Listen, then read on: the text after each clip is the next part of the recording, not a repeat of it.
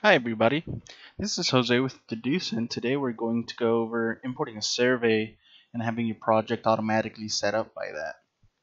Now before you do anything, you do need to make sure that your survey is in the correct format. So you can see here I have a spreadsheet that only has one page. It has the first row be the set of column headers. I have an ID value. I suggest you all add ID values just so that you can properly index your cases.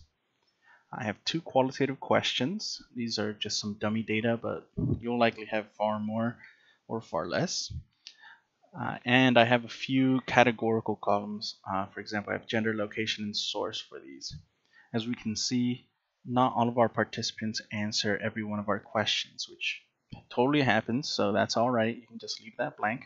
Or you can add this modifier here this NA is going to include these cases as part of the distribution for this field.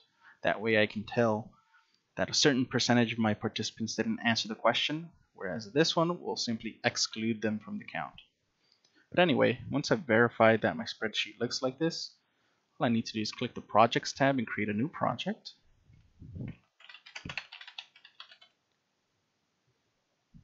And as soon as I'm done with that, I can click Import Data import spreadsheet.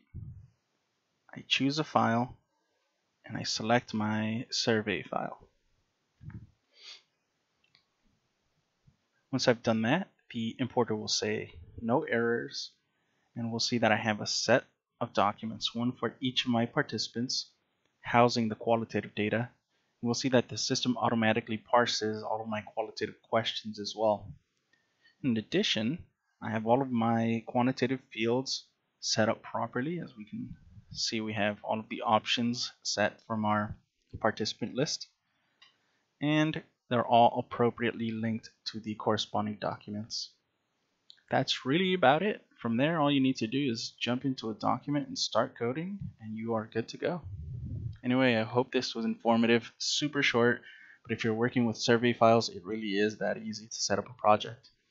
I hope you all have a great day and let us know if you have any further questions.